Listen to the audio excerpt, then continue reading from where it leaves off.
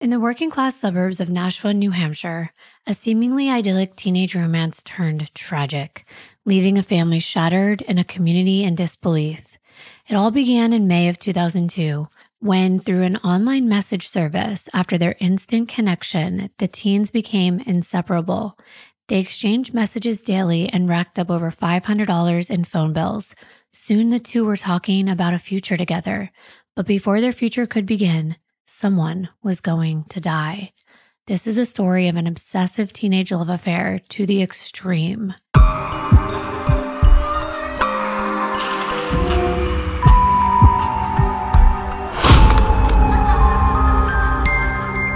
Hi, everyone. Welcome to episode 14 of the Darklivity podcast. I'm your host, Kimbyrleigha, and I am here with my co host, my best friend, my partner in crime, Jonathan. Hi. And for those of you who've been asking what Darklivity means, it's a word created specifically for this podcast. Darklivity is the dark downward slope into the degradation of the human mind and the consequences that such darkness brings to light. And that's exactly what we're going to be discussing in today's case. We post every Monday, but don't forget to subscribe, hit that notification bell so you don't miss out on what's next. Because last week we posted on Sunday.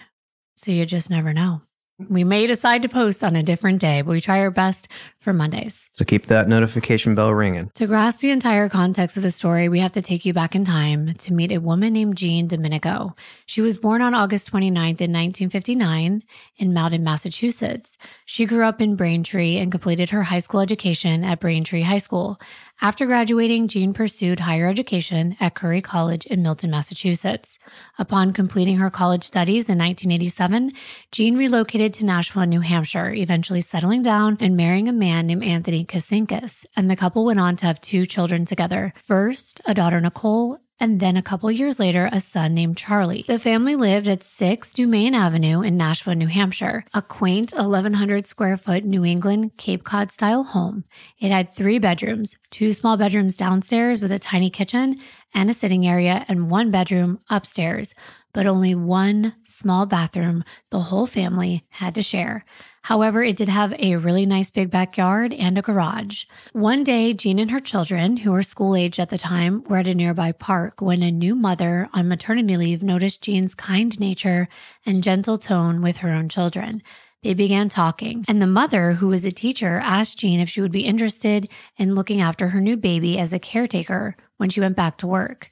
Since the woman was a teacher, Jean would have weekends, summers, and all school holidays off to be with her own children.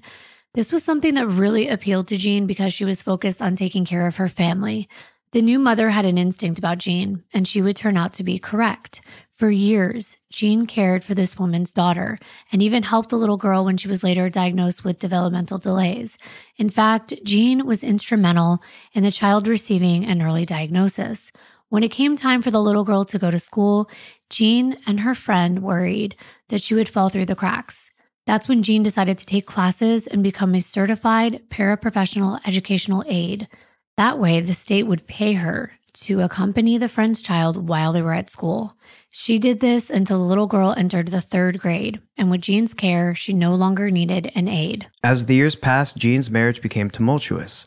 It was plagued by poverty and domestic disputes that became physical, but through it all, Jean remained upbeat and positive.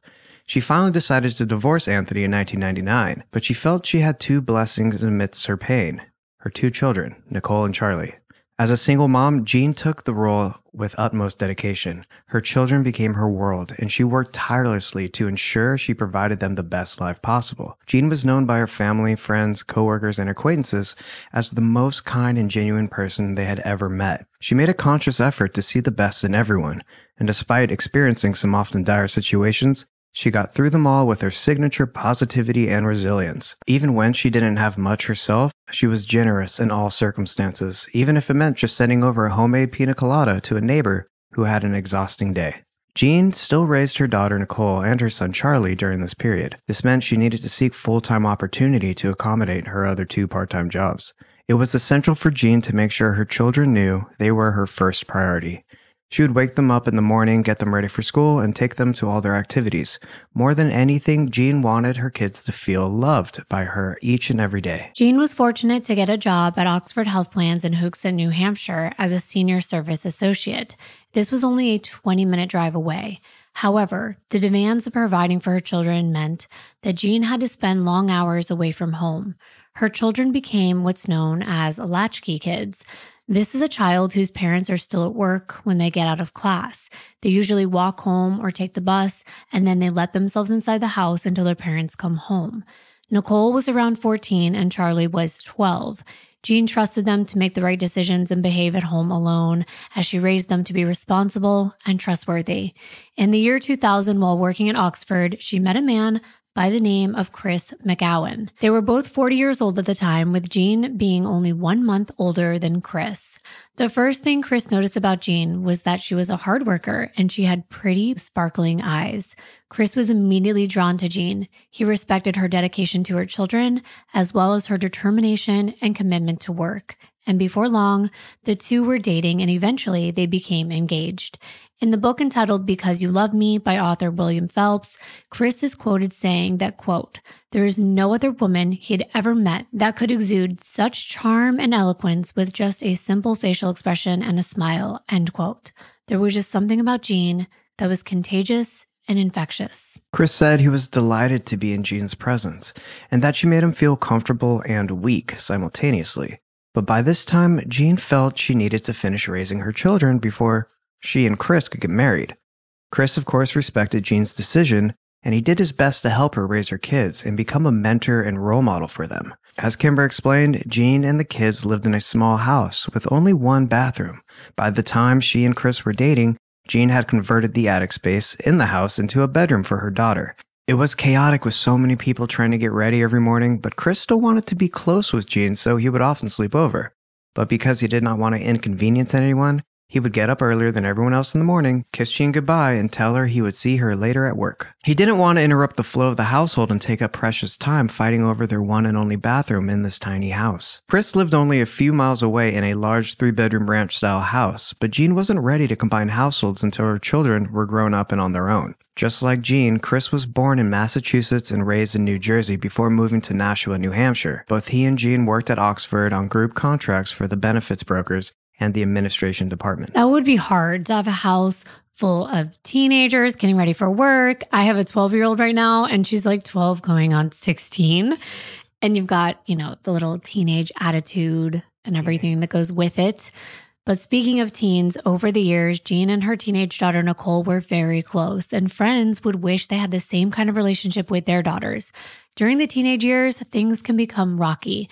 But as far as Jean was concerned, she and Nicole were still very close despite some recent ups and downs. We'll discuss that a little later in this episode. But of course, while Jean was at work, the kids have the run of the house, and she worried about them, especially her son, Charlie. He had recently started hanging out with a rougher crowd and was prone to get angry. His explosive temper worried Jean because she knew that before her divorce, her children had witnessed devastating domestic disturbances at the hands of her ex husband, Anthony. She feared that Charlie would follow his father down a path of the same physical violence, but she was hoping it was just a phase. But now let's jump to the summer of 2003. Chris had been with Jean for about three years now. Nicole was 16 and Charlie was 14. It was a normal morning on Wednesday, August 6th, no different than other mornings. Chris woke up at 6 a.m. He gave Jean a kiss on the cheek and told her he would see her at work later in the day. Since it was summertime, Jean was planning to leave work a little bit early and pick up dinner for their long standing pizza and board game night. That Wednesday evening, Jean had plans to stop by a local restaurant that had a special where on certain nights, if you could pick it up before 5 p.m., you would get it for only $5. And Chris described Jean as somewhat of a penny pincher, and $5 pizza night became one of their traditions. I would love a $5 pizza night. That's a really good price for a pizza, but I mean, are we talking like A little personal pizza. We should start a board game night. That we would be kind of do have a board game night. We played the roach game last night. that was a good game. That's a fun game. Bugs in the kitchen. On the other hand, Chris had plans to go straight home to his place after work. He intended to shower quickly and then drive to Jean's house for dinner and games with the kids.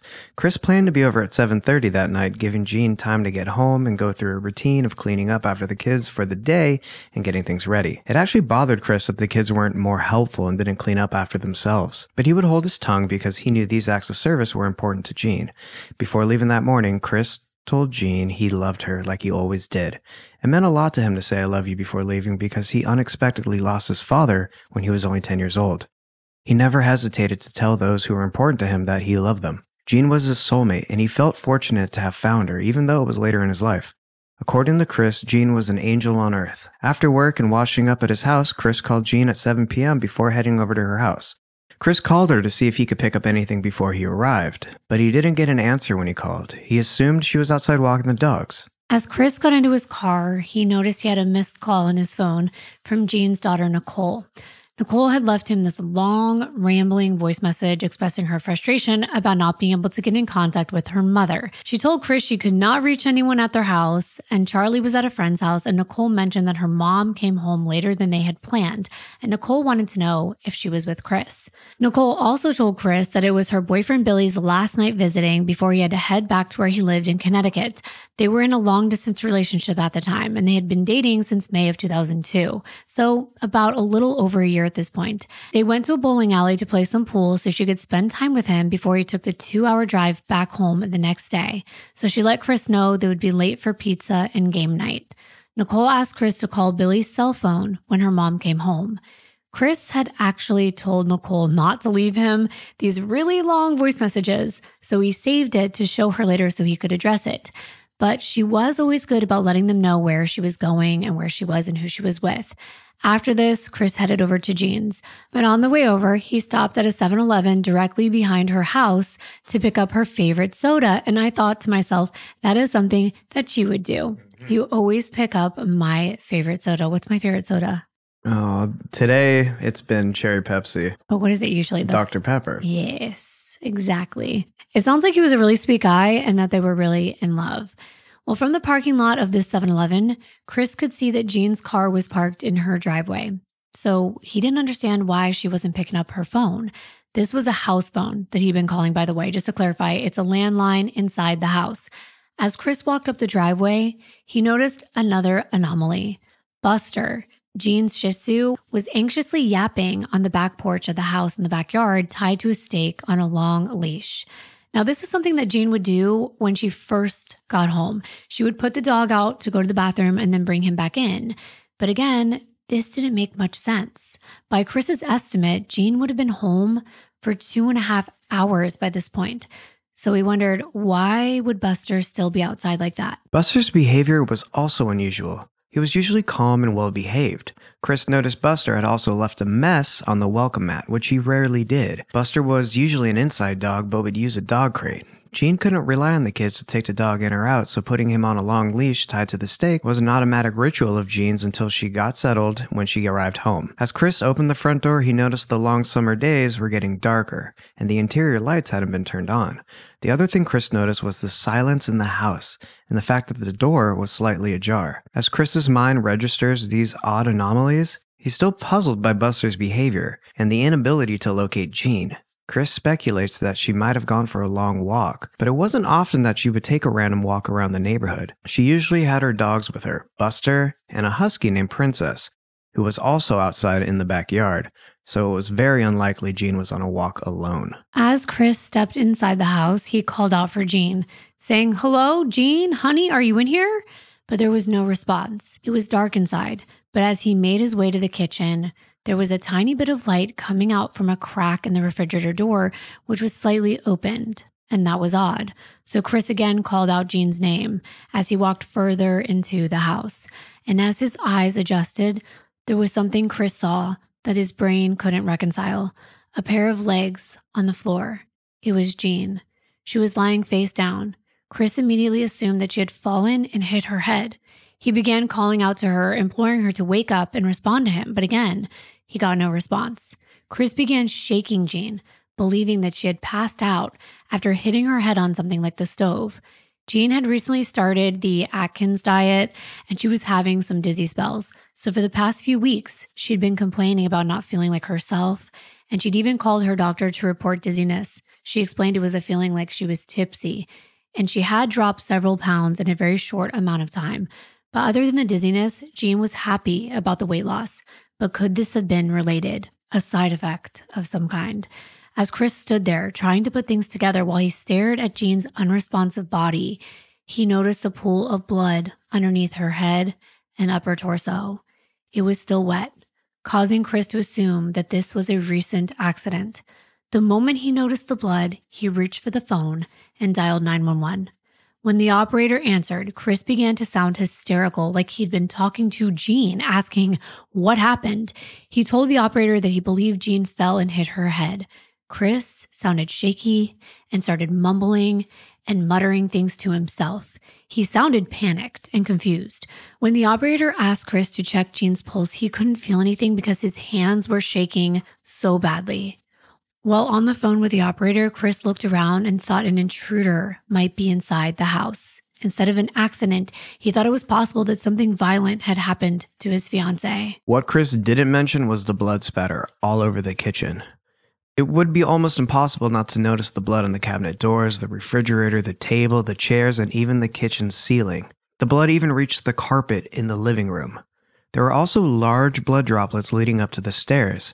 All this seemingly went unnoticed, but definitely unmentioned by Chris. The home was in disarray. Furniture was knocked over, the coffee table was shattered, and it was quite a chaotic scene. There, amongst the horror, was something simple, familiar, and grounding.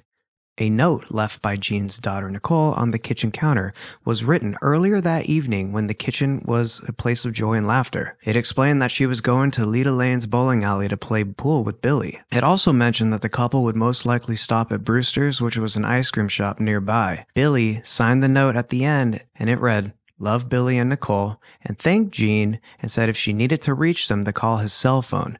Then he said, P.S. Have Chris come over for a Pictionary rematch. What a juxtaposition as this note existed among such a gory scene, one that Chris still hadn't completely been able to take in.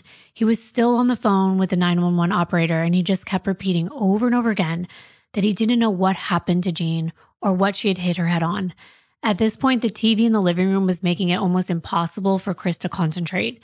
The operator was asking him to kneel down and put his ear to Jean's mouth to see if he could figure out if she was still breathing. He asked her, Can I please turn off the TV? Because it was distracting him. But the operator told him not to touch anything until she was able to get an officer over there. At this point, she put Chris on hold as she dialed a unit in the area for assistance as well as an ambulance. The operator told Chris to stay on the line, but he didn't. Instead, he went to Jean's body, picked up her head, and cradled it in his hands. He noticed how cold she felt. He whispered that he loved her one last time, saying, I love you, honey. He had no idea at that time that her body was covered in stab wounds. As he heard sirens, he just held Jean, then gave her a kiss on the cheek. As he moved her hair away from her face, she had a cold, glassy stare, and he realized that she was gone forever. He wondered how her children would take this news. And I can't even imagine. I'm getting upset and sad just thinking about finding somebody that I love, my soulmate, just dead and gone forever and thinking about what her children are going to feel like when they find out that their mother is dead. It's a lot to take in. Well, the first responder to the scene was veteran Nashua police officer Kurt Gautier. He was dispatched to what was relayed over the radio as a sudden death. He got there in just three minutes. Chris was still trying to figure out if Jean was still alive, but when Officer Gautier took one look at her, there was no doubt about it. Jean was deceased. He recalled it being, in his words, a bloody mess, and he remembers seeing blood everywhere, all over the floor, all over the cabinetry. In his opinion, it was a massive amount, and it was still wet. He immediately knew that this was a murder, and considering it was a violent crime, the officer couldn't help but wonder if the only other person there was the culprit, Chris McGowan. I mean, I don't blame him for assuming that Chris could have been responsible for this without even knowing much about their dynamic, I mean, he's the partner. That's always the first person that's going to be scrutinized. And within just a few minutes, other units from the Nashua Police Department had arrived, including another officer, Jeff Connors, who escorted Chris out of the house so they could allow medical personnel inside. Outside, they roped off a perimeter around Jean's home, and Sergeant William Moore took charge of the perimeter duty. He assigned Detective Sean Hill to a position on the west side of the house. Chris was outside with some of the other officers, while Connors and Gauthier were inside, clearing the rest of the premises, making sure that an intruder wasn't still inside. The medics confirmed what they already knew Jean was dead. And when Chris was given the confirmation, he yelled out loud, Oh my God, oh my God. And he was pacing back and forth with his hands on his head. And then he dropped to the ground on his knees.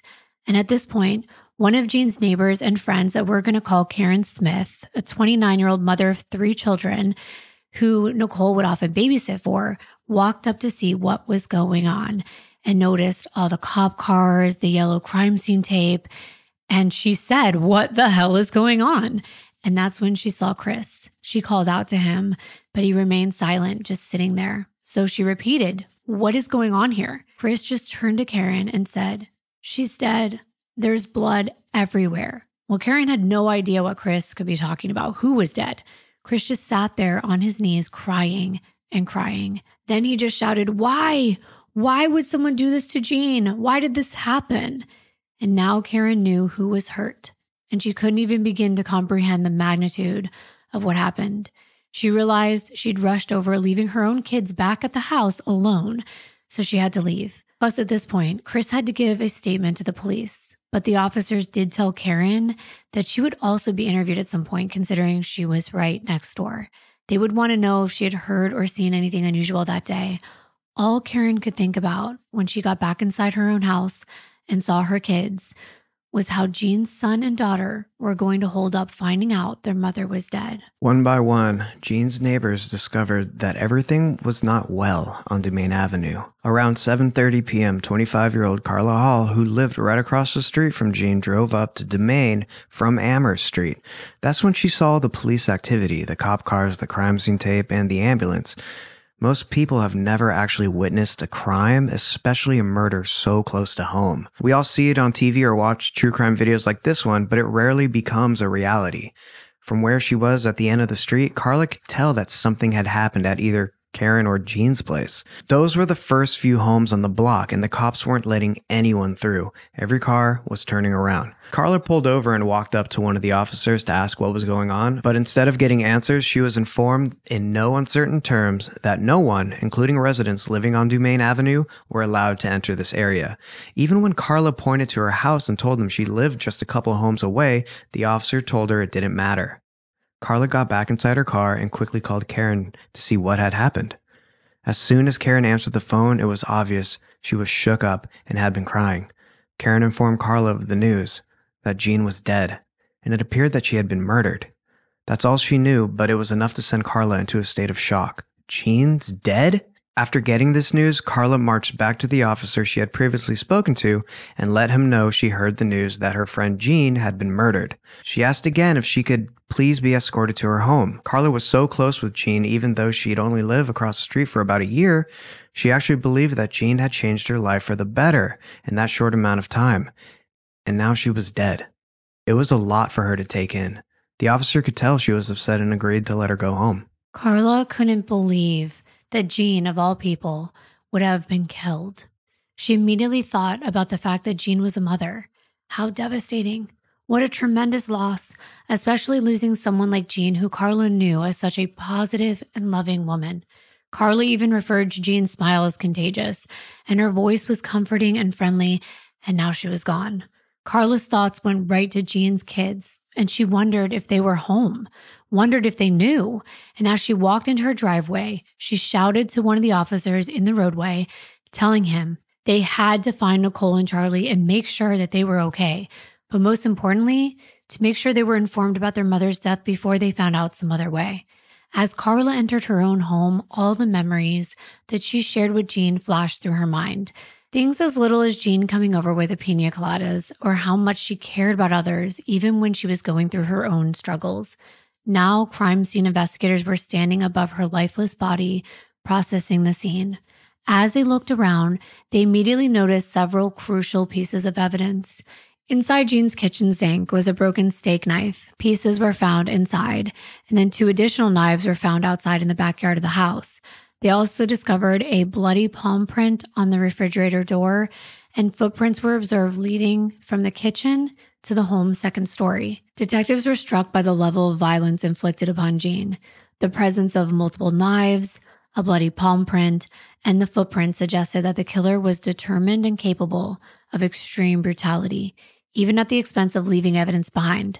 This indicated a strong motive or a personal connection between the perpetrator and the victim. Well, by this point, they already had a prime suspect. Can you guess who? Well, obviously, at this point, Chris was the only person they'd spoken to. He found her, he had access to the house, he called 911, and he was her partner. So I'm guessing it's him. Exactly. Chris was the first person the detectives wanted to speak with. He was covered in blood and standing right outside Jean's home. He was still shaken up, so answering even the simplest questions was difficult for Chris. Before they could really get any information out of him, he told the detective he needed to use the restroom. Chris suffered from multiple sclerosis, and his need was imminent. They denied him of the ability to use Jean's bathroom, so he asked to use the neighbors, but the officer still denied his request.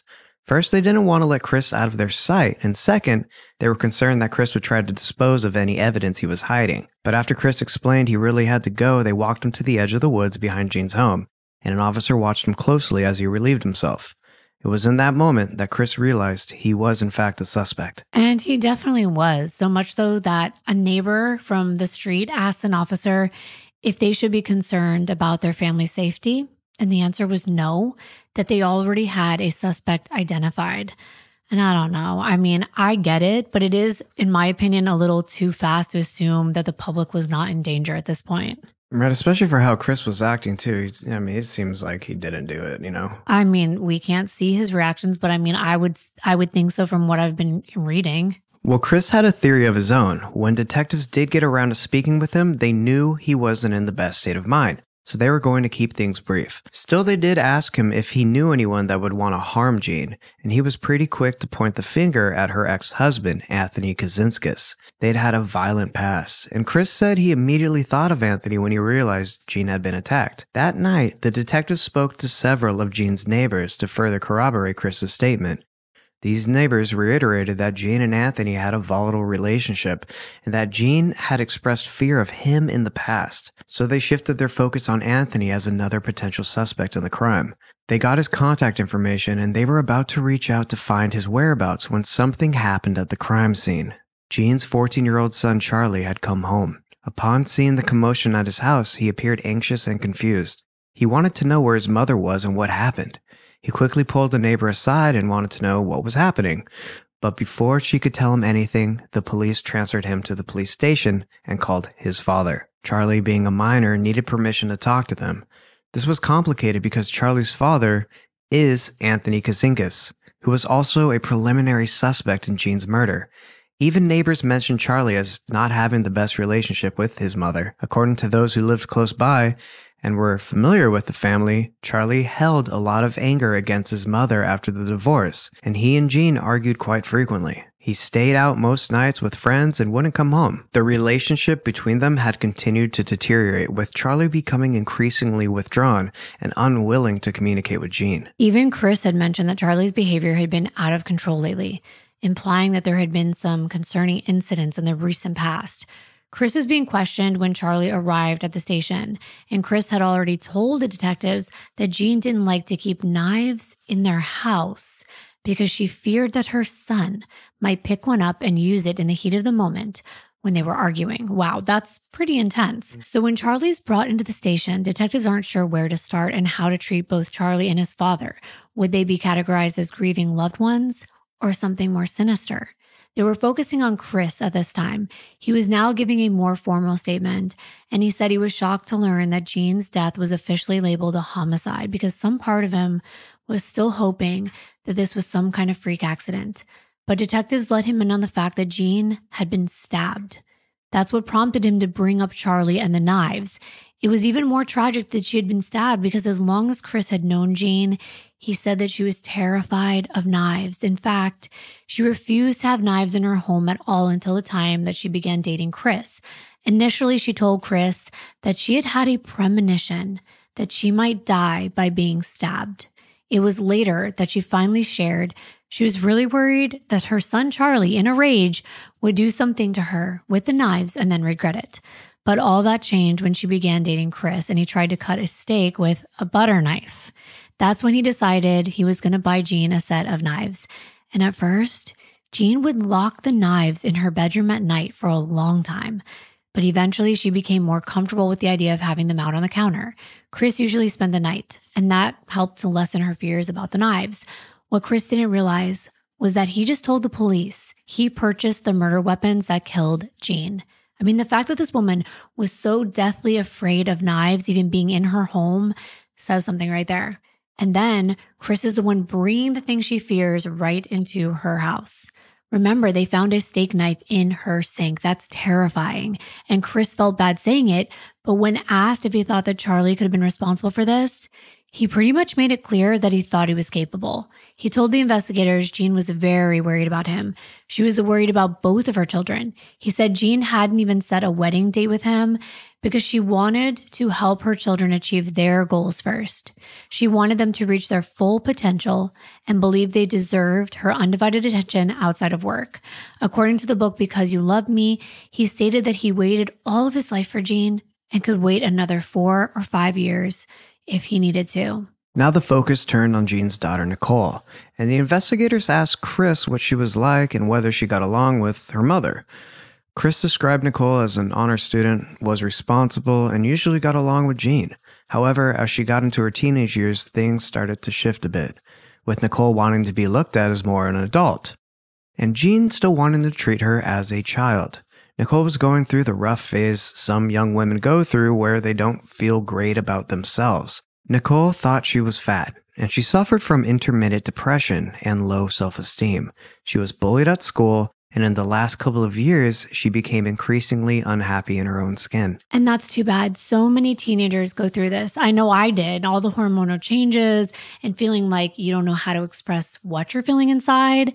It's a very trying time for both teenagers and especially their parents.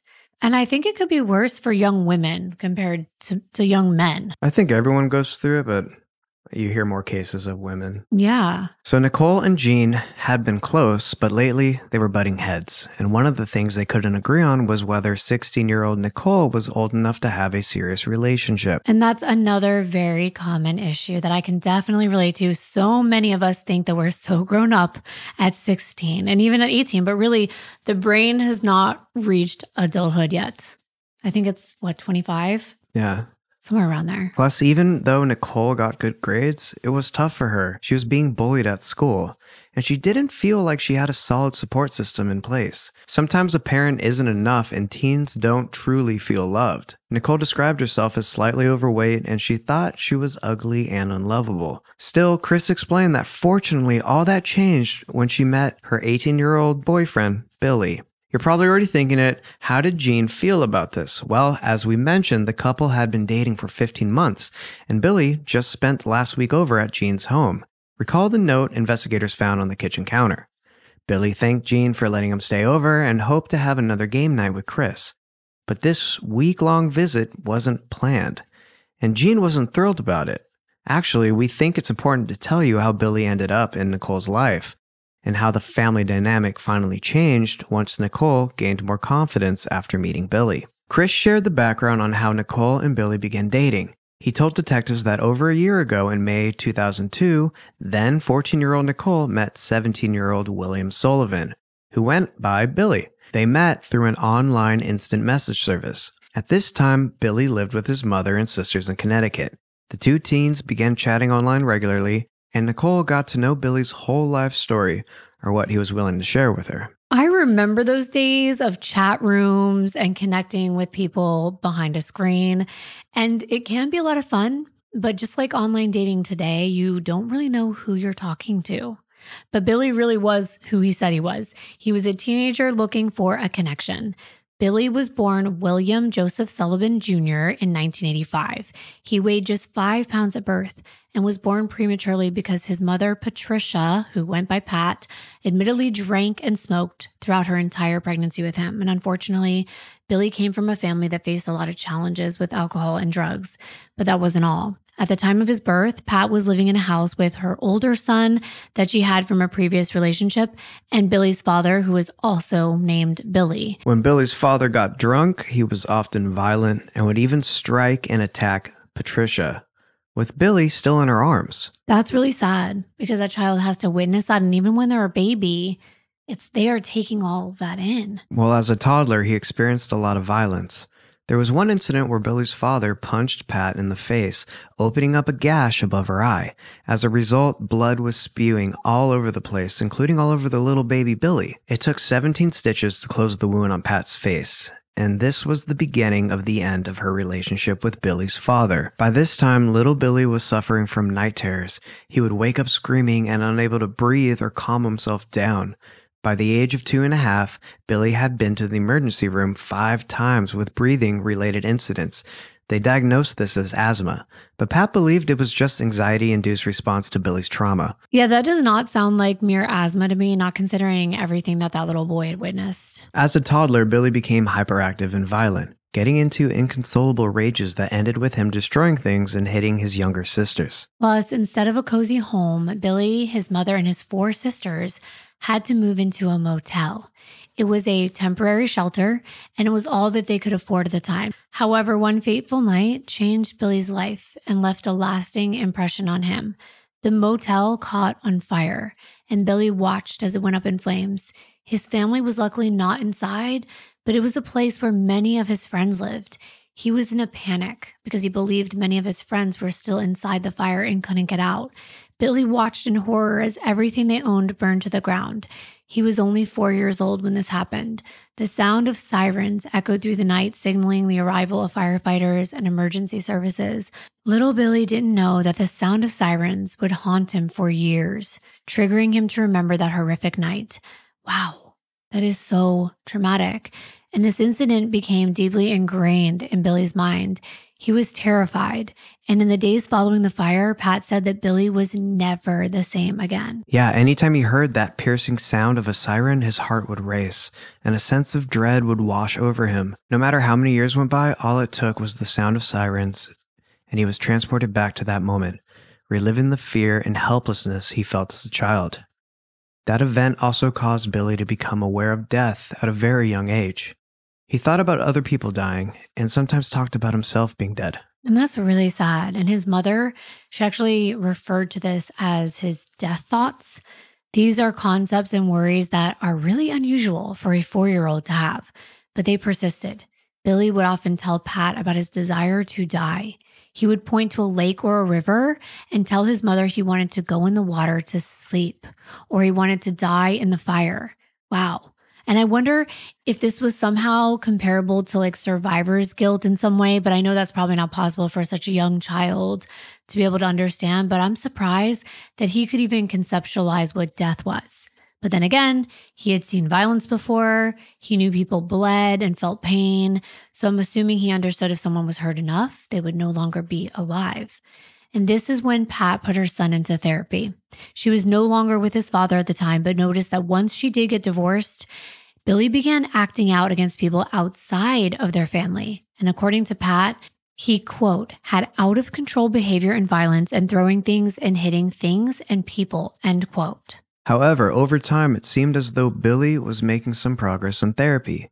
His doctors were testing out different types of treatments, even medications, but things were still not easy. By the time Billy was seven years old, he had gone to kindergarten twice and told his therapist that the brother of one of his sister's friends had touched him inappropriately in a tent during a sleepover. This caused him even more deep seated issues. After that, Billy's behavior became more self destructive. He would jump off of roofs, out of trees, and he was doing dangerous things that could harm him. That must be so hard as a parent because what do you do? You want to help your child and get them through all the pain, but at times it's beyond a parent's ability, especially if they're also dealing with things like addiction themselves. To make things even worse, when Billy was only eight, one of his good friends died in a terrible accident. It was too much for Billy to take in, and it landed him in a children's psychiatric hospital. That is so young to be hospitalized in a facility like that. And I wonder if he grew up faster than most children his age because of how much he had to witness. Well, he stayed at the facility for 30 days. That's a long time. He resented his mother for sending him away and would cry to her over the phone. And when they'd hang up following these emotional phone calls, the staff would have to restrain him so he couldn't harm himself. When he finally went home, he did appear calmer, but Pat thought it was all because of the medications he was taking. Some of the medications included Risperdal, Depakote, Ritalin, Prozac, lithium, Zoloft, and Thorazine. Basically, Billy was so drugged, he was a zombie. The doctors were working hard to find the right combination of drugs to allow Billy to live a somewhat normal life. Again, I can't help but think about how young he is while all this is going on and all those medications that he was on. I wonder what that alone can do to a person because it definitely does change the chemistry in your brain. You're taking a drug. That's what I was just about to say. Like his brain is still developing, right? Yeah. And like these medications are blocking off all of the synapses that are trying to grow. And I don't know. I'm not a neurologist. I don't know. I know. We're not doctors. I mean, if it's going to benefit someone, then doctors make that decision. And isn't like everyone's brain like a different sort of highway where synapses lead to other synapses that aren't like the same as yours or mine? So like one drug might affect me differently. Oh, how it affects absolutely. you. To affect It's everybody like differently. it's like almost impossible. Well, medications and being sent away to psychiatric hospitals became the norm for Billy. Pat felt those were her only options. She tried to have at home care for Billy, but in 1994, when Billy was nine years old, he attacked one of the workers with a baseball bat. Then he used the bat to destroy some of his sister's belongings. According to Pat, she no longer qualified for that type of assistance after the incident. Billy was again sent back to Elmcrest Children's Hospital for another 30 day stay. After that, he was placed at another hospital where he became what Pat called, quote, part of the psychiatric hospital revolving door syndrome, end quote. Anything the doctors tried with Billy was usually just a temporary fix. By that time, Billy understood that if he wanted to go home, all he had to do was pretend to have changed. By the age of 11, his aggression towards his sisters continued, and he was admitted two more times to psychiatric hospitals. By now, Billy was having problems at school, threatening teachers and starting fights with other students. His life seemed out of control, and Pat feared nothing could help her son. She petitioned for the state of Connecticut to assign him to a probation officer. Billy was scheduled to meet with his probation officer twice a month to discuss his behavior and the consequences he would face if he didn't change his ways. It appeared this structure and accountability worked for a while. Billy calmed down at school, but his behavior at home was unchanged. Pat wanted to get off welfare and return to school to better herself, but she couldn't because she couldn't find a sitter who would stay with Billy.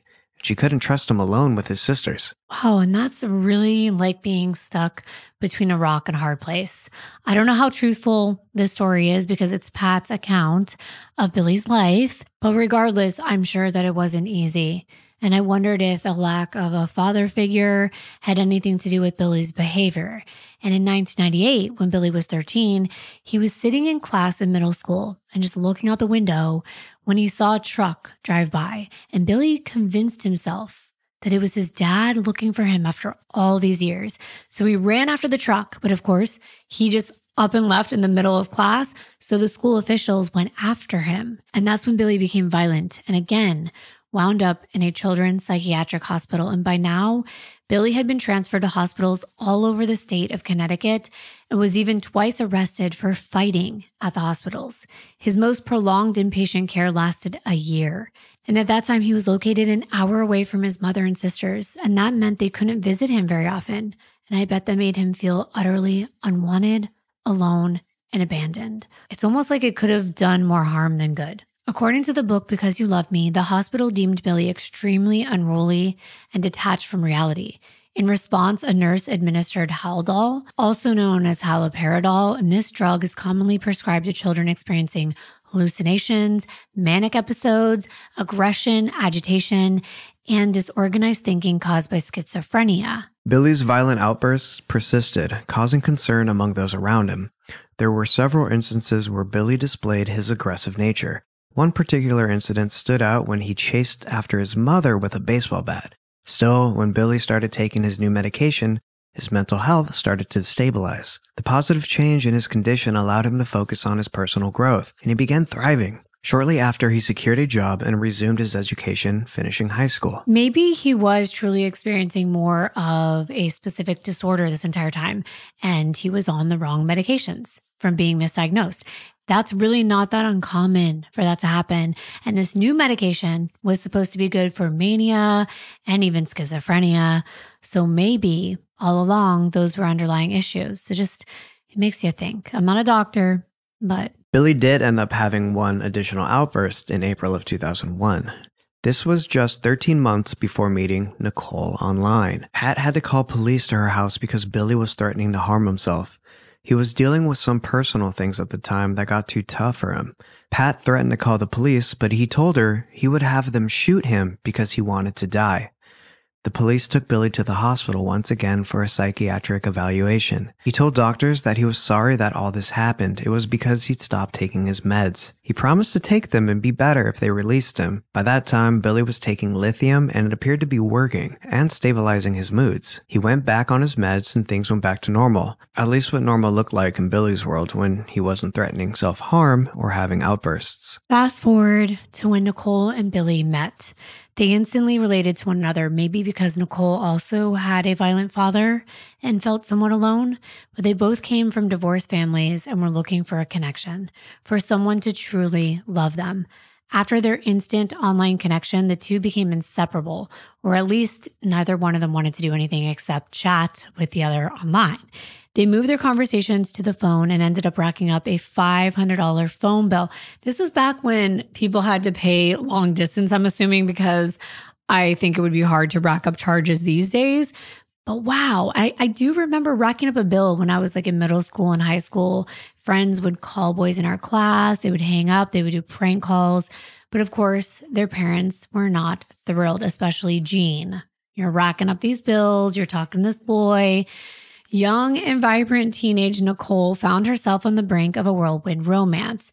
At first, Nicole, who felt completely unlovable due to her low self esteem, had mentioned to Billy that she was worried he would think she was fat. But he told her he thought chubby girls were sexy, and that was a huge relief to her. So I was thinking, okay, she's concerned. And instead of saying, no, you're fine, was he saying, that she was fat. I don't know. But anyway, he likes chubby girls. And then within a week of chatting with Nicole, Billy was already telling her that he thought he loved her. However, Jeanne and Chris held reservations about this budding relationship. They shared a common concern Nicole's age. They believed she was too young to be entangled in the complexities of love or what felt like love.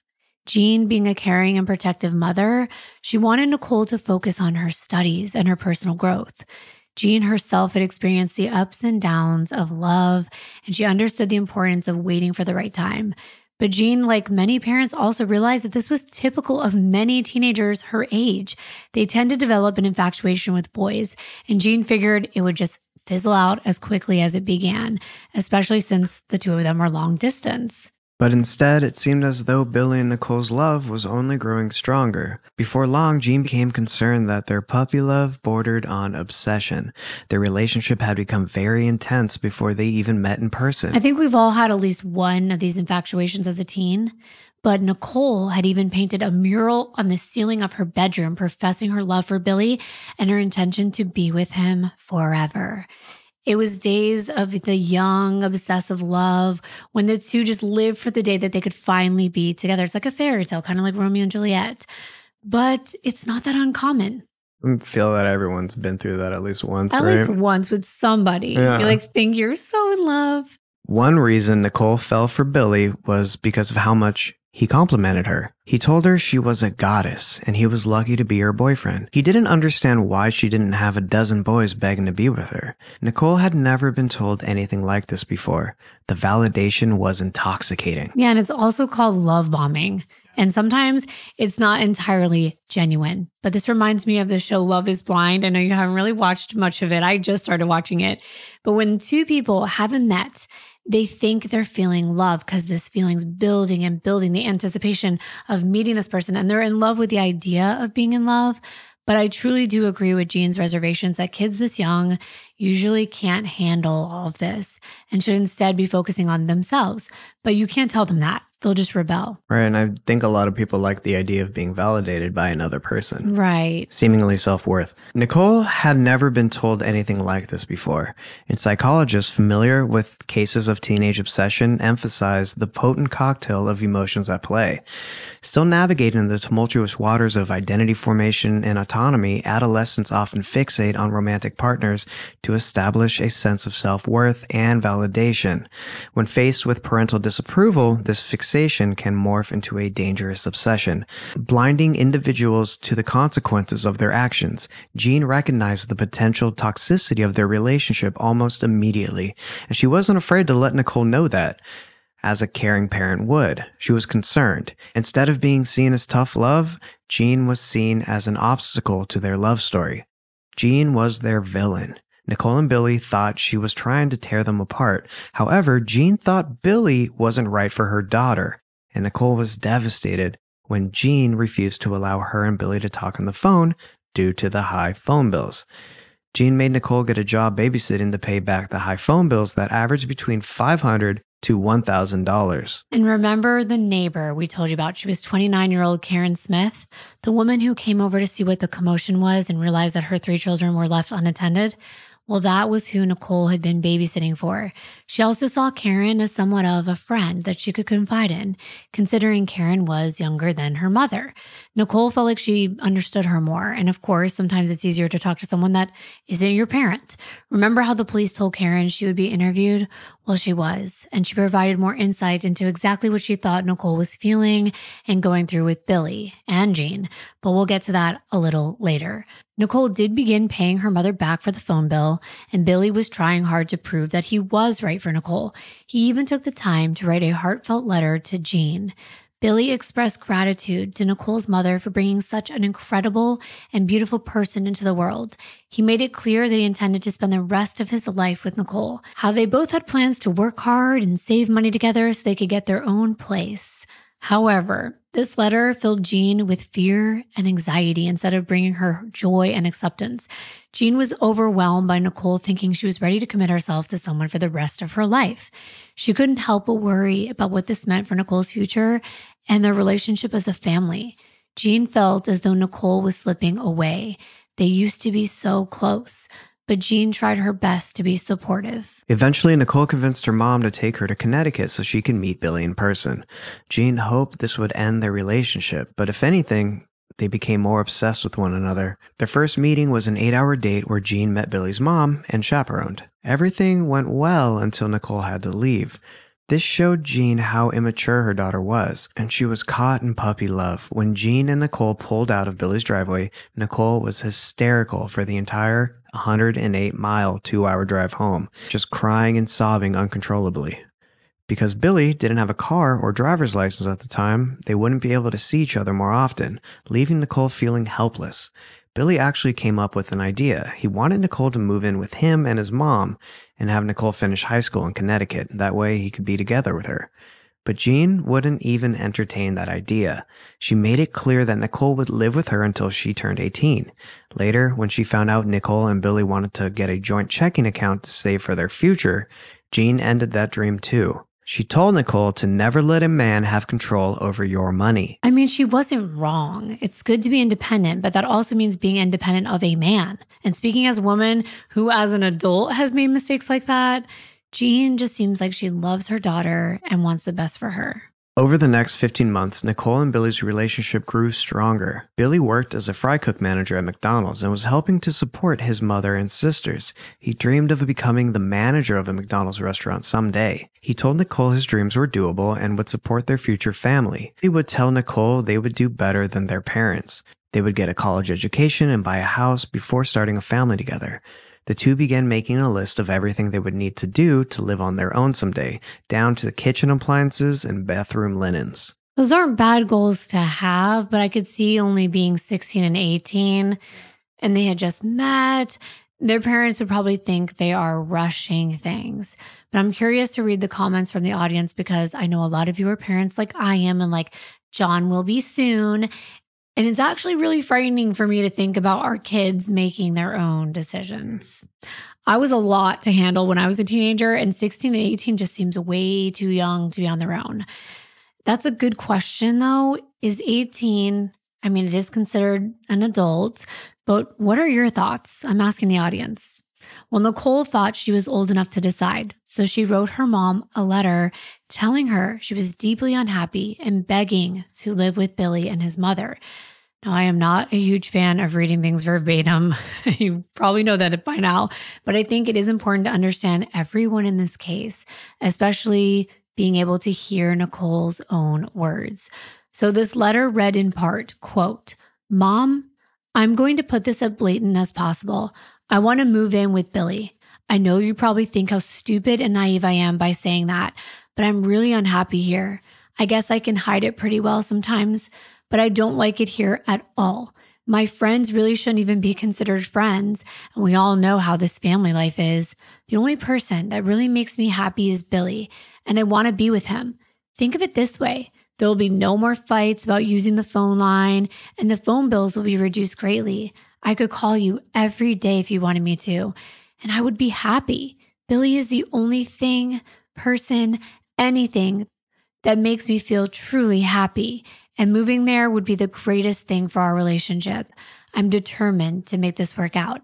Our fate and my happiness is in your hands. End quote. Of course, Jeanne told Nicole she would have to remain in her home until she graduated high school, and she wouldn't be changing her mind. The last line of Nicole's letter stuck with me though. She said their fate was in Jeanne's hands. Well, unless Nicole ran away, I guess Jeanne did still have a say in what she did. She's a minor. But as far as Jeanne was concerned, the discussion was closed. Billy tried writing more letters to Jeanne too. In his letters, he promised to be a perfect gentleman with her daughter, and he promised her trust in him would not be misplaced. Jeanne saw this as an attempt to manipulate the situation, and she wouldn't budge. Her mind was made up. Until Nicole was done with high school, she wasn't going anywhere. And I'm sitting here thinking, none of us know how good we have it as teenagers. We don't have to pay any bills. We're living rent free. Don't grow up because it's it's not as fun as it looks. That's what I have to tell teenagers. And I remember writing letters like that to my grandma about like the, I don't know, like frivolous things that I look back on. I could just see how she was like, you know, the phone bills. Your parents don't care about the phone bills. They just want you to be safe. Billy couldn't help but feel personally insulted by Jeanne's refusal to allow her daughter to live with him in another state. But they all tried to make the best of what they did have. Billy continued working hard and saving money, and Nicole focused on getting through high school. Things had died down regarding the back and forth between Nicole and her mother. As time passed, they all seemed to resign themselves to their own realities of the situation. Billy and Nicole were young and in love, but not old enough to make big moves on their own, and Jeanne had to accept that her daughter was becoming more independent. Nicole and Billy relied on chatting online to avoid raising phone bills and upset Jeanne, but their love and passion for one another was growing stronger. Billy had finally got his driver's license and had saved enough money to buy his own car. His mother did have to co sign for him, but he reached one of his goals. Now, if he wanted to, he could make the two hour drive to go and see Nicole. And he wanted to. As a matter of fact, that's what he did. He requested a week's vacation from work and planned a surprise visit to Nicole in early August 2003. That's how he ended up staying at Jeanne's that week. It was a complete surprise. Neither Nicole nor Jeanne knew that Billy was coming. And I think it's a pretty sweet gesture. I like surprises like that. And Billy knew it was the summer, so Nicole didn't have school. However, he didn't put much thought into having a plan for where he would stay when he got to New Hampshire, but he just figured Jeanne would let him stay over her place. And if not, he would figure it out. Even if he had to sleep in his car, he just wanted to see Nicole. Well, of course, she was ecstatic when he pulled up in the driveway. Everyone could tell how happy she was, and Nicole begged Jeanne to allow Billy to stay. And despite having some reservations, Jeanne reluctantly agreed to let him stay at their house for the week. She knew how badly they wanted to spend time together, and she did see signs that they were both truly trying to juggle being together, but also abiding by all the rules that Jeanne set in place. They all seemed to be trying. And of course, Billy wasn't allowed to sleep in Nicole's bedroom. So while he visited, Jeanne made him sleep on the couch downstairs in the living room. But Nicole would end up sleeping on the floor right next to the couch while holding Billy's hand all night long. wow. And one night, they all sat down for dinner, and Billy said that this was his first home cooked meal in a long time. And Jeanne seemed surprised and said that he was welcome to come for a home cooked meal at her house anytime he wanted to visit. They spent time having game nights together, and Billy and Nicole seemed really happy. But of course, life still went on for Jeanne and Chris. They still had to work every day, and that posed an issue.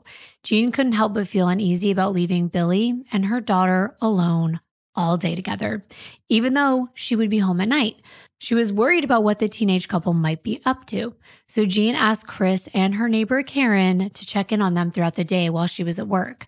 Several times a day, Jeanne would call Karen to go over there and check on the kids when she was working. Karen had done this before when it was just Nicole and her brother Charlie at home, so it wasn't that much of an ask. She was right next door. She could just walk over. It was actually Chris that brought it up. Jeanne was a bit naive about teenagers having sex, but Chris thought it was definitely a possibility. Still, Jeanne was convinced her daughter didn't know about all that. According to Chris, Jeanne assumed that Nicole and Billy weren't intimate.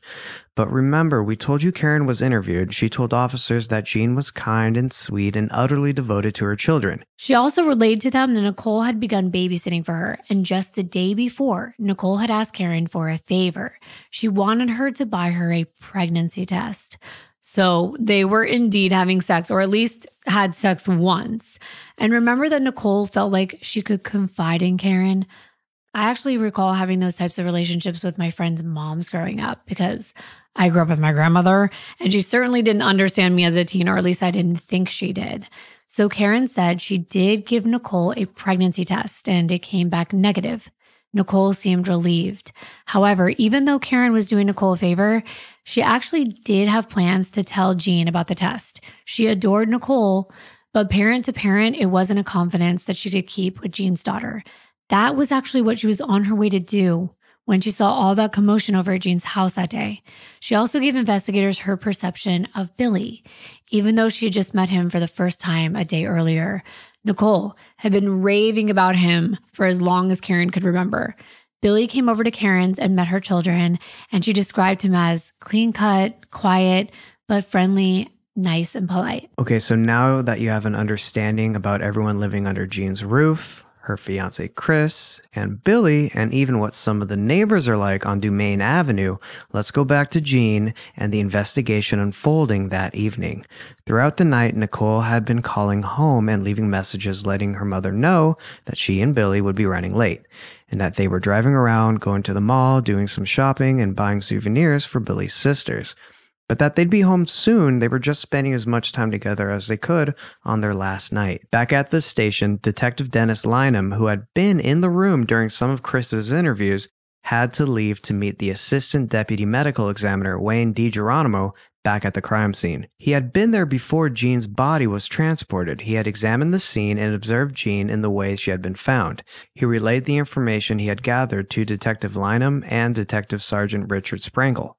DiGeronimo could easily tell with as much experience as he had that Jeanne had been badly beaten with an object like a baseball bat. The scene and all the blood spatter trailing through the living room and kitchen, coupled with the shattered glass coffee table, indicated quite an intense struggle. And they even noticed the back door glass had actually been pushed out from the inside. So even though there were no signs of forced entry, there was a forced exit. This could have occurred during the struggle, but the glass was detached from the door, and earlier that afternoon, they had discovered two knives in the backyard in addition to the broken handle they found in the sink with the blade uncovered on the floor nearby. As for Jeanne's body, DiGeronimo could tell that she had been stabbed dozens of times in the neck, throat, head, and torso. She had been stabbed at least 40 to 50 times with apparent defensive wounds on her hands as she tried to block the strikes. Wow, that is really extreme. Stabbed and then brutally beaten. This is a sign that this is a very personal attack. It's like overkill. And actually, later on, Dr. Jenny Duval, Deputy State Medical Examiner, would detail all of Jeanne's wounds. And according to Duval, Jeanne died slowly after a long struggle. There were approximately 53 stab wounds and cuts to Jeanne's body. The cuts ranged in depth, some were more superficial, and others were very deep. 28 of the stab wounds were to Jeanne's neck, throat area, and her face. Another 25 or so were around Jeanne's chest, mostly in the area right above her heart. but these went deep inside. However, only one hit a vital organ, penetrating into her left lung. This is what caused Jeanne's death. She was basically left on the floor in pain, unable to move and bleeding out, not able to breathe. What could this woman have ever done to someone to deserve this? And wait until you truly hear all that Jeanne went through. It's just horrific and unbelievable if what you haven't heard isn't already. When detectives relayed this information to officers back at the station, they told Chris, and he was shocked. He immediately told the detectives it had to be Jeanne's former husband. They had a history of violence. He couldn't think of anyone else who would have done this. Jeanne was deathly afraid of her ex husband, and she told several of her neighbors that she feared he would someday kill her. And now she's dead. The night was coming to a close. It was around 10 p.m., and Chris had provided as much information as he could.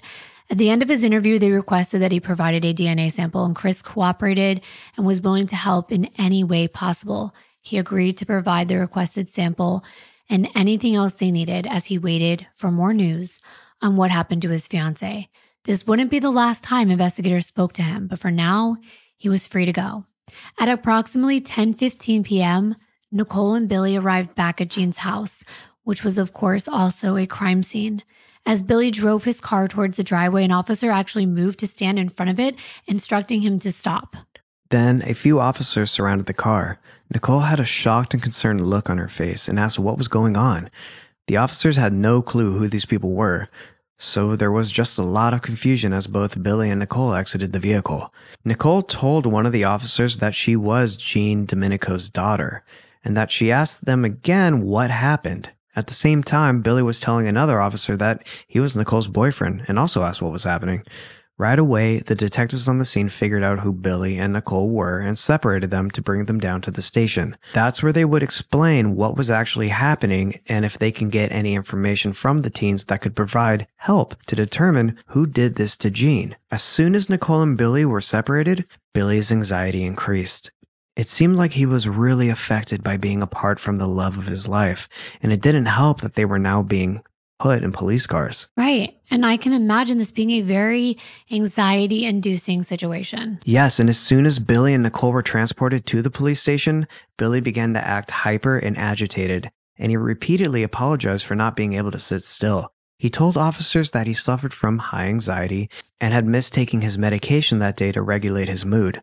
Billy kept asking different officers when he could see Nicole, explaining that he had been separated when they arrived at the crime scene. The officers kept saying the same thing to hang tight and everything would be explained to them as soon as they could, but they needed to take their statements separately and then they could be together again. This was all a normal procedure. They began interviewing Billy first because he was 18, but they had to wait for permission from Nicole's father in order to interview her since she was still a minor.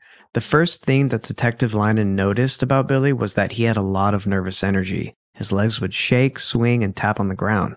I do the same thing, and so do you. Sometimes I have to like put my hand on your leg to stop you. People see I us mean, swiveling yeah, all the time. Go like this, but I understand when you're in this position, it might look a little suspicious. Definitely exasperated. One minute he was talkative and friendly, the next he was agitated and nervous.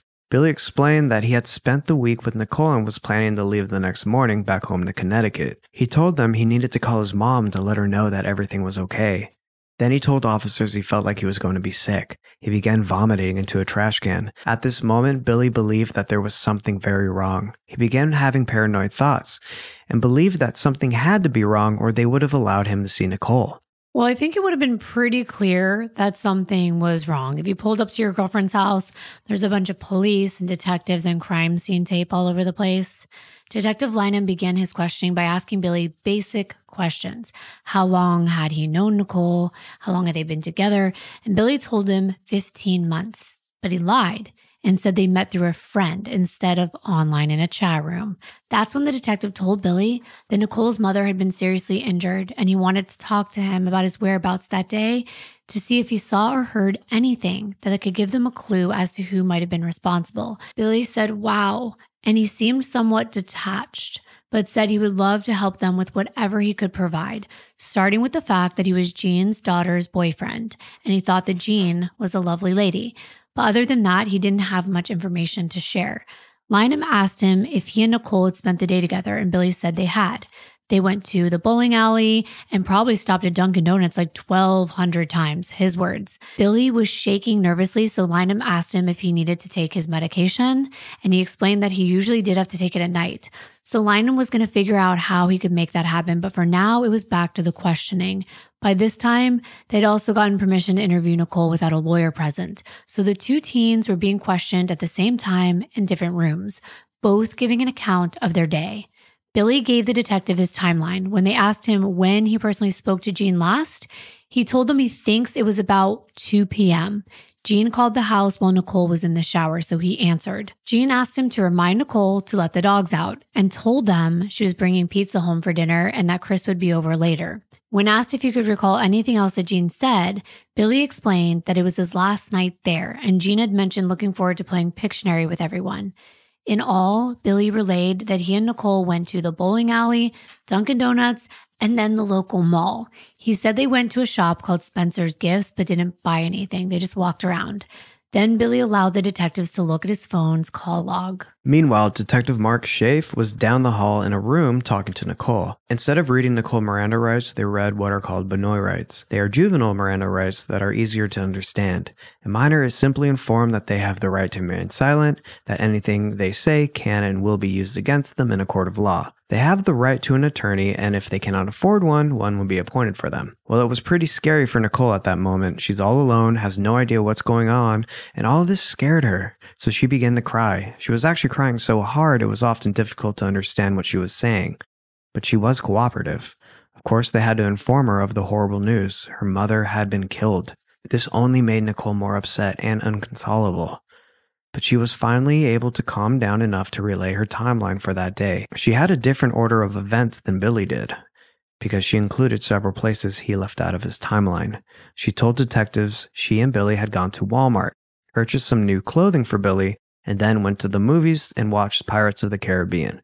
At this point, Nicole and Billy were just witnesses like everyone else they had talked to that night. Both investigators left their rooms and met up to compare notes. Right away, they noticed considerable discrepancies in the teens' stories. Uh oh. But honestly, I can't remember what I did in a day. And if I was under pressure, I'd probably forget things too. But because of how crucial it is to understand everywhere the teens had been and develop a solid timeline, the detectives decided to go back in and tell both kids that their stories didn't match and try to get a little more information out of them. Detective Lynham, who was interviewing Billy, said that Billy began showing extreme nervousness. He told the detective he forgot that they went to Walmart. He wasn't sure if they went that day or the day before. See, that's what I'm talking about. That would happen to me because my days kind of like blend together. I kind of forget what I ate for breakfast. I know. Well, Lynham explained that Nicole had a receipt in her pocket that showed that they were there that day. Billy then agreed that they were there and must have been, considering they had proof. But Billy said, as far as the movie was concerned, that they had merely contemplated going to the movies but never actually went inside or watched one. That's interesting. Meanwhile, in the other room, Nicole was still telling Schaeff that the couple did stay and watch the whole movie. Nicole also informed the detective that she bought Billy the shirt he was wearing from Walmart, and that's when she showed him the receipt from that exact day.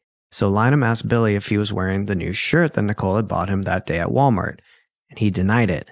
It didn't make sense to the detectives to lie about these little things. Was he lying or was he just getting things mixed up or forgetting? And that's what they had to figure out. So they figured they needed to turn up the heat, especially since these were the first inconsistencies that they'd seen all day when interviewing any witnesses. That's when Detective Lynham felt that Billy was lying to him and told him that this would be a massive investigation, which would include DNA evidence, video surveillance, and fingerprints. Billy asked why his whereabouts were so important. He said he didn't understand why he was being questioned. And that's when Billy got angry. He denied having anything to do with whatever happened to Jeanne. Well, once again, Detective Lynham stepped out and he called upon Detective Sprinkle. Now, both of them were going to confront Billy together. It was going to be more interrogation style. They were going to turn up the heat. And Detective Sprinkle joined Billy and Lynham in the room. And again, they asked Billy to tell them about his family, his mental health, and how he spent the day with Nicole.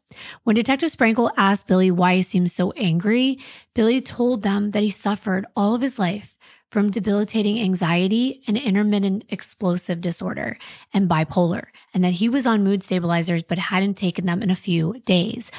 Okay, we know what's happened in the past when Billy has been off of his meds. He had become aggressive, he threatened self harm, and even hurt other people.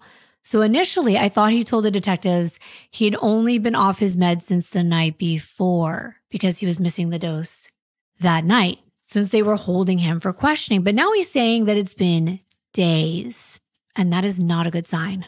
And at this point, they hadn't actually told Billy that Jeanne was dead. They had only told him that she'd been injured. Now they let him in on the fact that she was indeed deceased, but not only that, they told Billy that there were several bloody palm prints and fingerprints left at the scene, which would lead them to the murderer and the case would be solved by using surveillance video from the 7-Eleven located behind Jeanne's house. That's when Billy told the officers he had a lot weighing on his conscience. Damn, he was about to break, wasn't he? Well, of course, that's what it looked like. At this point, they moved Billy to a larger room, and the detectives began recording the interview and read Billy his Miranda rights. Billy chose to waive his rights and continue speaking with them. What Billy didn't know was that Nicole began opening up down the hall. Through the tears and sobs, Nicole told Detective Schaeff that she and Billy had issues with her mother, Jeanne. They felt that Jeanne was keeping them from being together, and that Billy felt belittled by her.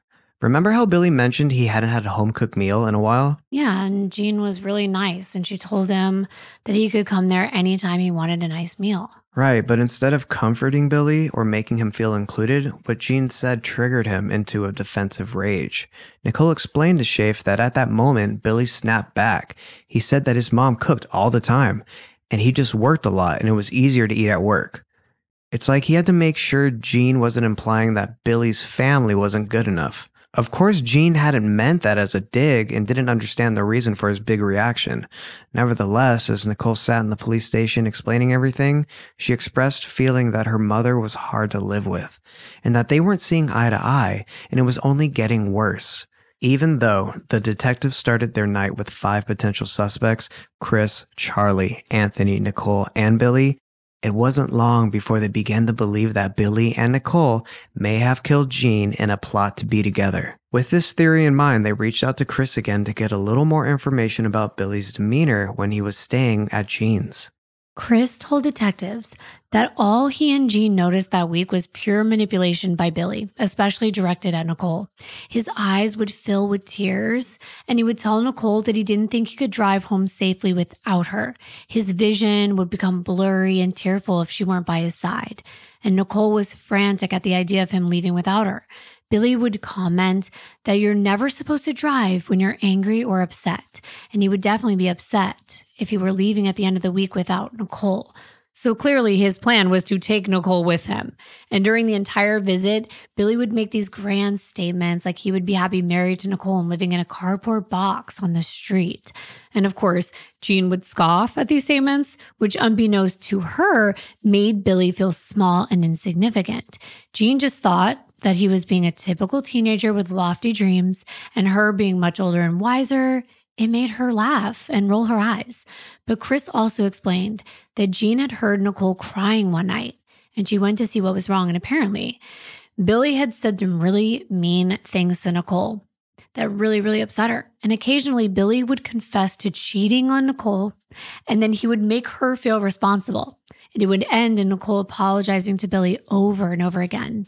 This, of course, was more reason for Jeanne to hope that the couple would break things off. But what she didn't know was that Nicole felt that it was all her mother's fault that Billy was cheating, since it was her mom keeping them apart. So, back in the interview room with Nicole, she was telling Schaeff all about how Billy told her if he had to return home without her, he would steer his car into oncoming traffic, and that they had talked about running away together. But Billy knew that Jeanne would send the police after them and they wouldn't get very far. He told Nicole they wouldn't last more than two days before police caught up with them and brought them back. Are you ready for the big bombshell? Nicole was on a roll, and all of a sudden she admitted that Billy began joking about killing Jeanne so that they could be together. Or at least in her version of the story, she thought Billy was joking. But then Nicole realized that he was serious. Nicole told the detective that Jeanne used coffee creamer every morning, and Billy came up with a plan and he shared it with Nicole. Billy had this idea to lace the creamer with a mixture of what Billy referred to as a lethal combination of ibuprofen, Benadryl, and some other over the counter medications that they could buy at the store. What he imagined would happen or hope would happen was that Jeanne would either die from an overdose or she would fall asleep while driving and have a fatal car accident. Can you even imagine your boyfriend or girlfriend actually sharing this with you? I would be in complete shock. No kidding. But Nicole just stood back. Yeah, I would go to the police at that point, wouldn't you? I mean, I don't even know what I would do. I would just be like, what? Yeah, I'd probably break up with that person at that point. I would probably at least get far away from them. But Nicole stood back and allowed Billy to put his little plan into motion. She provided a chilling account of what happened and claimed it was all Billy. He bought the medicine and then put it inside the creamer while Nicole passively stood by and watched as her mother added the concoction to her morning coffee. It wasn't until later that night that Jeanne felt sick and dizzy. She said it was a simple case of eating something that had gone bad, but she recovered enough to function and go to work the next day. Even though Nicole initially acted as though this was all Billy's plan, she admitted that both of them were disappointed when the poisoning didn't work. Wow. So she's now on board with planning to kill her mother so that she and her internet boyfriend can be together. How sickening is that? Yeah, and at this point, Billy had a new plan. One he thought was even better. He decided they needed to get a little more aggressive, so he put bleach in Jeanne's creamer. Stop it. Okay, now that's just crazy. Yeah, except that didn't work. The next day, they saw the creamer in the trash. They assumed Jeanne noticed it, smelled it, or tasted it and threw it away. Yeah, I mean, you would smell that. It's very distinctive, but I'm thinking, wouldn't Jeanne have questioned why her creamer smelled like bleach? I mean, I would turn into detective mode and really be watching my back and probably suspecting these kids were up to no good. Poor Jeanne. That's just horrible. Personally, I like the smell of bleach, but I definitely wouldn't drink it. Yeah, you like the smell of bleach when you clean the bathroom, not when you're sipping on your coffee. And the next day, Billy had another new plan. They were going to set Jeanne on fire inside of her room and let her succumb to the smoke inhalation and the flames. Well, that certainly escalated quickly. And all the while, Nicole is okay with this. And Billy isn't afraid of fire. I mean, I thought he was so traumatized by the motel burning down. Well, it appears that way because while Jeanne was at work, they went into her room to figure out how to best stage an accidental fire. Billy used a lighter on the tip of Jeanne's blanket to make sure it was flammable. It wasn't. The blanket wouldn't catch fire. They figured out it was flame retardant. Undeterred, Billy had another plan. He and Nicole drove to Home Depot and purchased a long, thin rope. Billy planned to place one end of the rope into an oil tank in the back of the house soak the rope in gasoline, and then light the other end inside the house. Billy told Nicole the house would blow up and then they would be down the block by the time it happened. Billy thought using the gasoline soaked rope as a fuse was a genius plan. He's a man with many plans, but Nicole explained to the detective that before carrying out the fire, she packed her diary and some clothes in a bag and headed to the backyard to place the rope into the fuel tank as instructed. However, Chris was outside talking to Billy, and Nicole got worried she was going to get caught. So instead, she ran to the edge of the woods and disposed of the rope behind her mother's house. And later, Nicole grabbed the rope and threw it in the garbage can. So far, all of their plans had failed. And Nicole told Schaeff that after the rope incident, they decided their plan shouldn't include fires or blowing up houses. By this time, it seemed Nicole had become desensitized to killing her mother because she sat there heartlessly explaining how disappointed she and Billy were with all of their failed attempts on ending her mother's life. When she was asked why they wanted to kill Jeanne so badly, Nicole casually explained that her mother wouldn't allow her to move to Connecticut to be with Billy, as if that was a perfectly good reason to execute the mother who had loved her and nurtured her throughout her entire life. Her coldness was chilling. Meanwhile, Billy was in another room explaining that he had promised Nicole that they would be together, and once he had made a promise, he had to go through with it. That's when Billy said he came up with the idea of sneaking up behind Jeanne with a baseball bat and hitting her in the head. At first, Nicole had mixed feelings about the plan, but eventually she thought it was the best case scenario. At this point, Nicole hated her mother for wanting her to be miserable and keeping her from Billy. She would explain to him how terrible her mother was and how awful it was to live with her.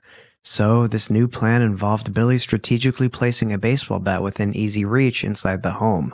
Billy was going to plan to attack Jeanne until she was dead. This is when everything came out. Billy explained that at 4:40 p.m. on August 6th, he and Nicole went to the bowling alley to finalize their plan of attack and to create an alibi.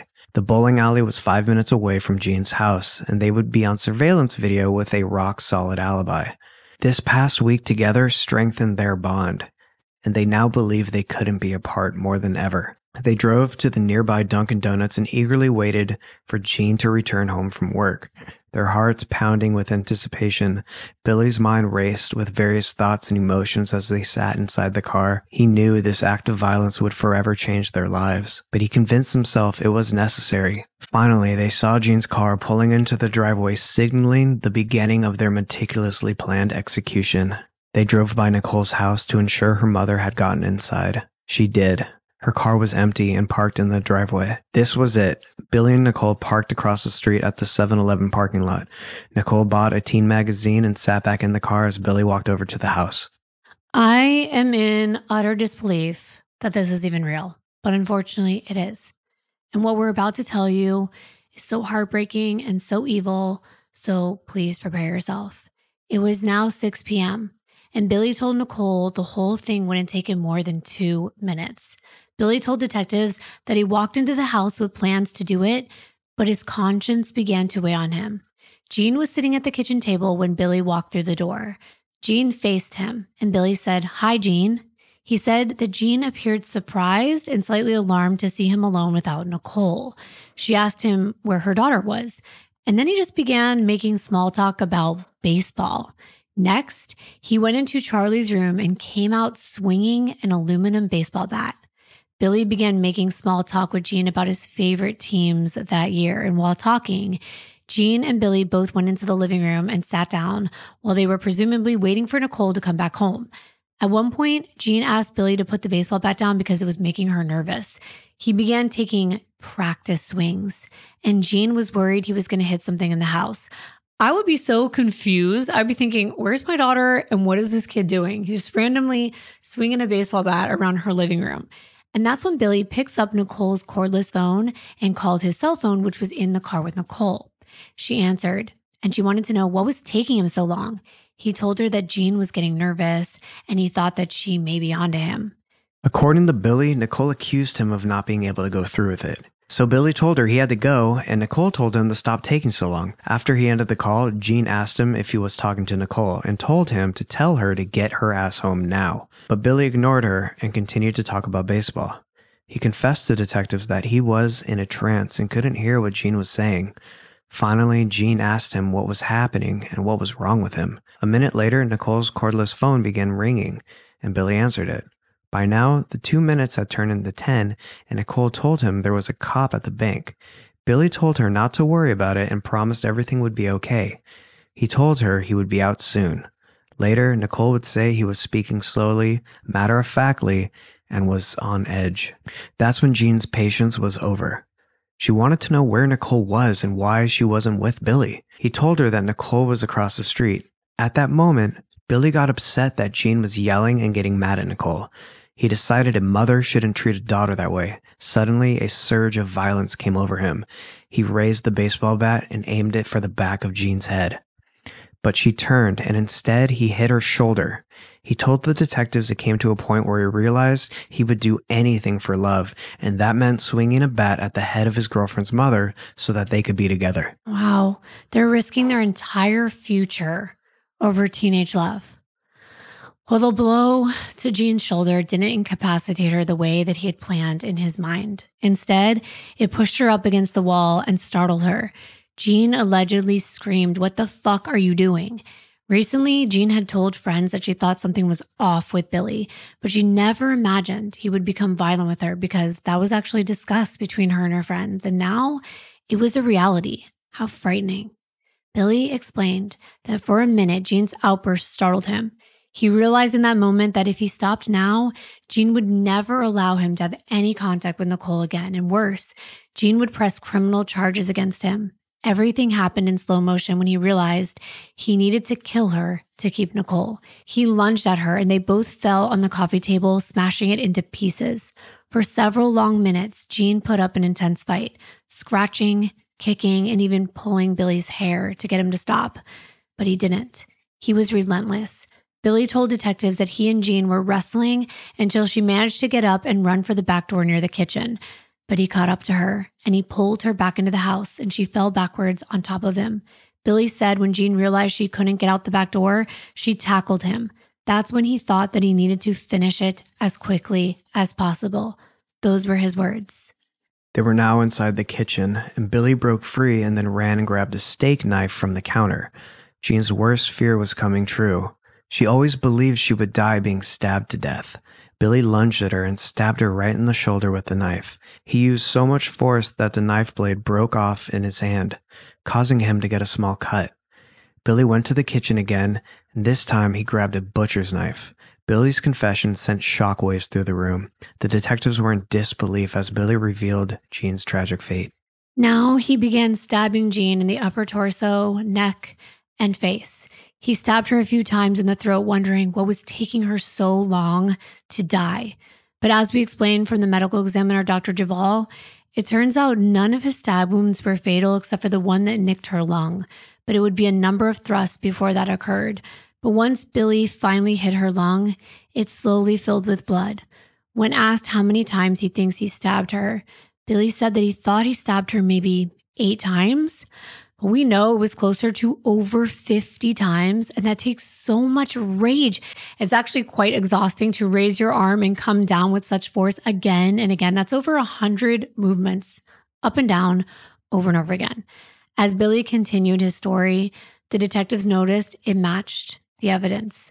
There was a window pane in the door that was broken from the inside out, and police initially thought that this was an attempt to make it look like a burglary with the glass going in the wrong direction.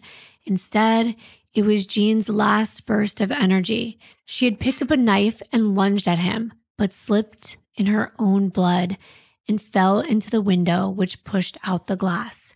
This is when Jeanne went down and never came back up. Billy was standing over her when she took her last breath, and he said that her last words were, I'm done. And that is just so heartbreaking.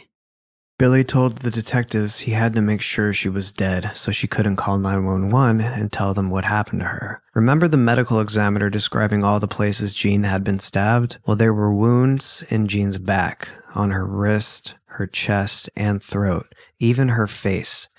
There were 13 on the right side of her head, 9 in the back of her neck and head, altogether 50 from the top of her head to her torso. Apparently, some of those were after she was lying on the ground, unable to move. Maybe he thought that she was faking it because there's a lot of people that have actually survived by just like lying really still and holding their breath until the killer walks away. So he sat there and continued to stab her to make sure that she would never get up. Billy confessed that he hastily gathered the incriminating evidence and fled the scene as quickly as possible.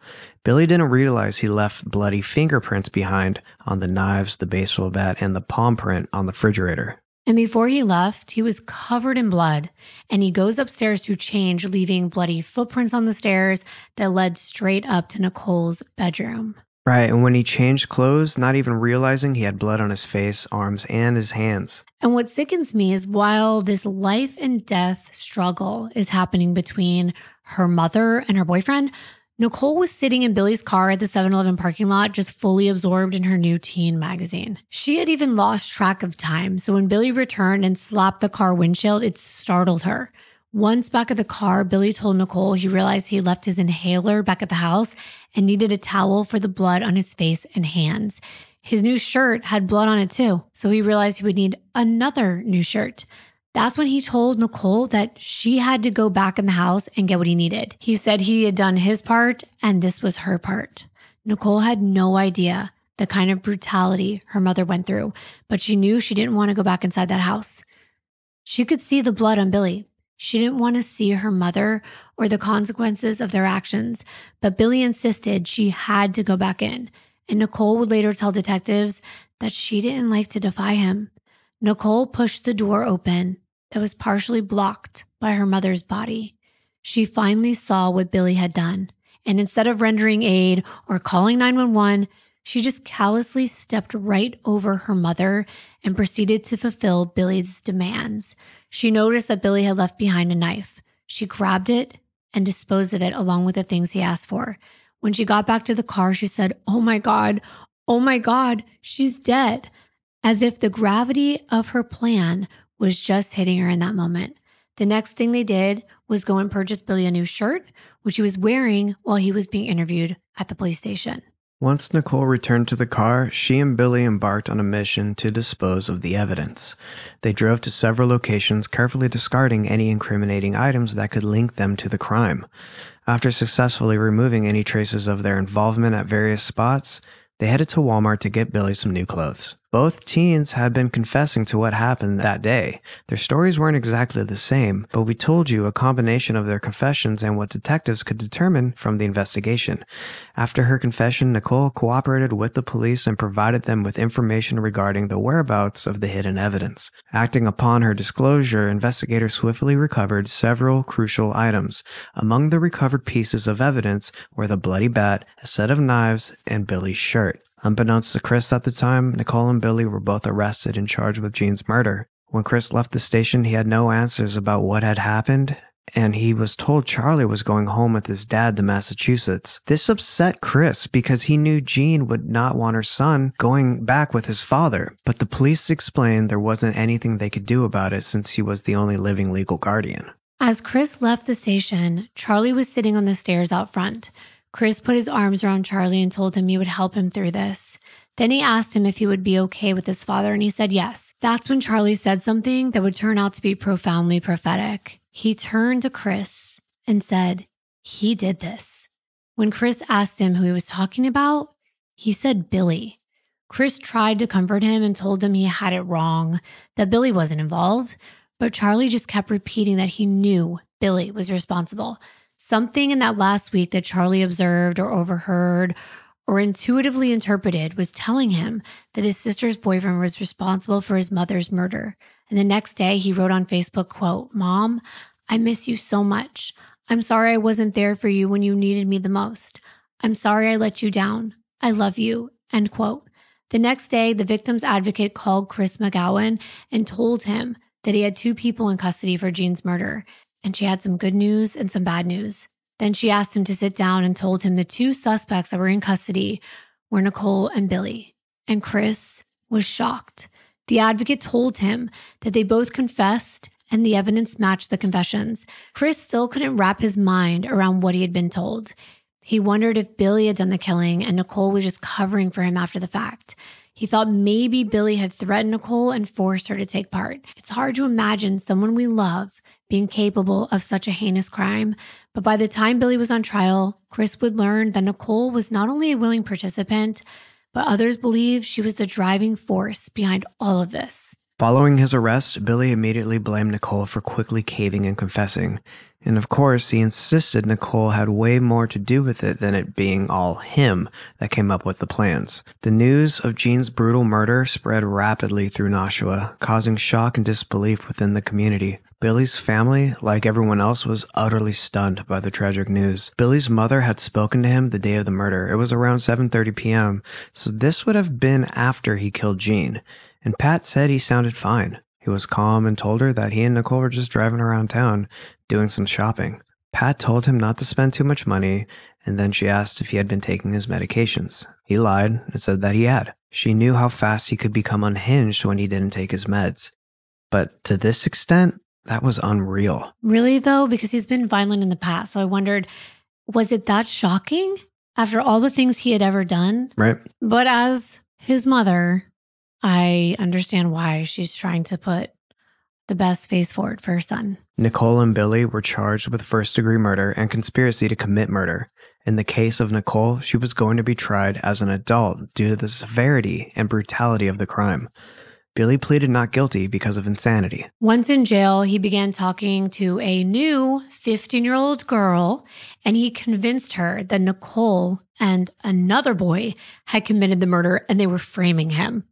And he promised that once he was released from prison, that they would be together. And just like with Nicole, he began telling her he loved her and he told her how she had to become emancipated from her parents so that they could run off together. He told her that they would run away and they would go live with his aunt. He even had his aunt sneak her into jail to visit him while pretending to be one of his sisters. And eventually, this girl's friends went to her parents and told them about the dangers of her new felon boyfriend.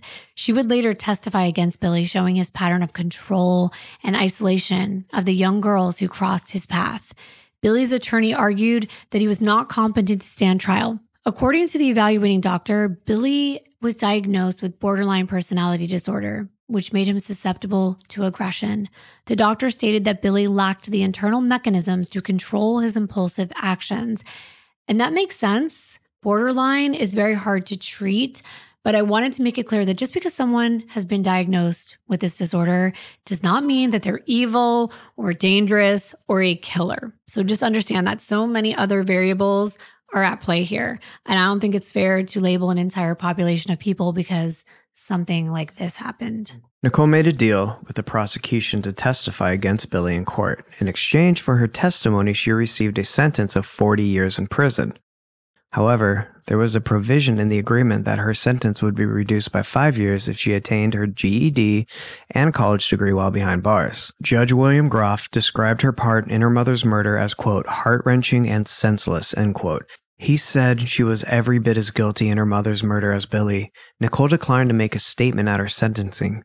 Still, she became emotional when Jeanne's fiance, Chris, gave a statement recalling how much Jeanne loved Nicole and how it was repaid with the ultimate betrayal. Billy's trial began in 2005. Nicole gave testimony against him, stating that she was merely a lookout during the murder of her mother. She claimed that Billy had manipulated her into participating in the crime. Billy's mother also testified. She told the jury everything we told you earlier about his past. She admitted that she was not a good mother. She confessed that she drank at least a six pack of beer every day of her pregnancy and believed that that is why Billy was born prematurely and maybe it was also why he had so many issues. I just want to point out that despite a background of domestic issues and addiction, Billy always thought of his mother as a superhero and a warrior who fought to keep them all together. Recall how upset he got when Jeanne insinuated that his mother didn't cook him meals? Mm-hmm. Well, Pat went on to tell the jury that as a toddler, Billy became hyperactive and violent. He would get into rages where he would end up destroying things and hitting his younger sisters, cutting off all of their hair, or trying to smother them in toothpaste to make them, quote, dead. This is what he imagined he was doing to his sisters. Billy began explaining to Pat his detailed plans for how he planned to die. And on one occasion, he told her he was going to stand on a big rock and jump in the river until it took him away and killed him. It's true. Billy had a very difficult past, and the week he stayed with Nicole, he had stopped taking all of his medication. For this reason, Billy believed he belonged in a psychiatric hospital instead of prison. But a jury disagreed and sentenced him to life in prison without the possibility of parole. Two years later, Billy won an appeal to a new trial, and this trial was not to determine his guilt or innocence, but rather to assess his mental state, whether he was considered to be insane or not. Billy was again found not to be insane by the court, and his sentence was upheld. He was resentenced to life in prison. Thankfully. hmm And sometimes it doesn't end that way, and people like him are released into the world again only to reoffend, sometimes worse than they did the first time. And in closing, I want to mention that till this day, Chris maintains a memorial page on Facebook where friends of Jeanne and anyone that knew her can document the small acts of kindness in her name. When people think of love, they usually think of the unconditional beauty of love. But in this case, it's a stark reminder that sometimes love can be darker. It can be a powerful force, but when it becomes twisted and distorted, it can lead down a path of destruction, leaving devastation in its wake. We, of course, want to thank you for being here for Jeanne's story. It's truly a heartbreaking one, and it, it makes me fear being a mother, but I know that this is probably a very unlikely scenario. You've always got to think about it, though. I do think about it. hmm I'm always like, I. Oh, we got one on the way. I know. I'm always like, I hope my daughter doesn't meet some weirdo. He convinces her. Well, thank you all so very much for being here. We will see you in our very next episode. And like always, don't forget to like and subscribe and hit that notification bell so you don't miss out. We'll see you in our next episode. Bye. Bye.